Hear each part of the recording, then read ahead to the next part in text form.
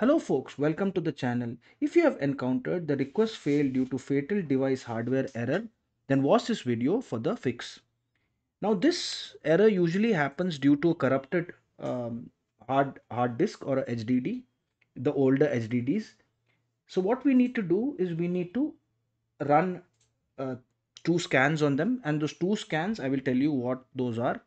So let us search for command prompt here, right click and run as admin we'll click on. Yes and we will first run the command chk dsk space slash f space slash r and press enter.